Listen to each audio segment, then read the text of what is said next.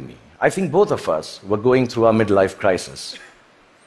And humanity, like me, was becoming an overexposed prima donna. I started to sell everything from hair oil to diesel generators. Humanity was buying everything from crude oil to nuclear reactors. You know, I, I, I even tried to get into a skin tight superhero suit to reinvent myself. I must admit, I failed miserably. And just an aside, I want to say on behalf of all the Batmen, Spider-Men, and Supermen of the world, you have to commend, commend them because it really hurts in the crotch, that superhero suit. yeah, I'm, I'm being honest, I need to tell you this, yeah. really. And, and accidentally, I happened to even invent a new dance form, which I didn't realize, and it became a rage. So if it's all right, and you've seen a bit of me, so I'm quite shameless, I'll show you. It was called the Lungi dance. So if it's all right with you, I'll just show you. I'm, I'm, I'm talented otherwise, yeah. so it, it went something like this. Lungi dance, lungi dance, lungi dance, lungi dance, lungi dance, lungi dance, lungi dance, lungi dance, lungi dance, lungi dance, lungi dance, lungi. That's it.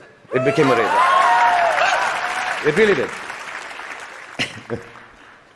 like you noticed, nobody could make any sense of what was happening except me. And I didn't give a damn, really, because the whole world and whole humanity seemed as confused and lost as I was. I didn't give up then. I even tried to reconstruct my identity on the social media like everyone else does. I thought if I put on philosophical tweets out there, people will think I'm with it. But some of the responses I got for those tweets were uh, extremely confusing acronyms, which I didn't understand. You know, ROFL, LOL. Adidas, Adidas, somebody wrote back to one of my more thought provoking tweets. And I was wondering, why would you name a sneaker? I mean, why would you write back a name of a sneaker to me? And I asked my 16 year old daughter, and she enlightened me. Adidas now means all day I dream about sex. This really.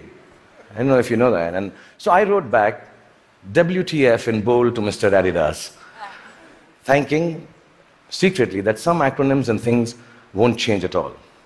WTF. But here we are. I'm 51 years old, like I told you, and uh, mind numbing acronyms notwithstanding. I just want to tell you if there has been a momentous time for humanity to exist, it is now. Because the present you is brave. The present you is hopeful. The present you is innovative and resourceful. And of course, the present you is annoyingly indefinable.